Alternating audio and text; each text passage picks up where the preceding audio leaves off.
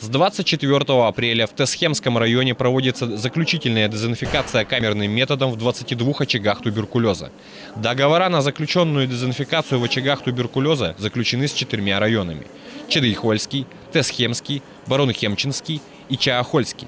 Фактически, заключительные дезинфекации камерным методом на настоящее время проводятся только в двух районах республики.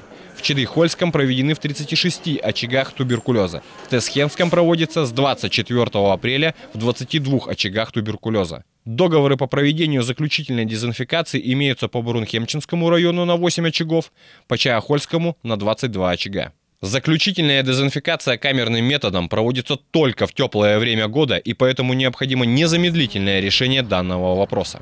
Также дезинфекция камерным методом проводится на территории Кызыла.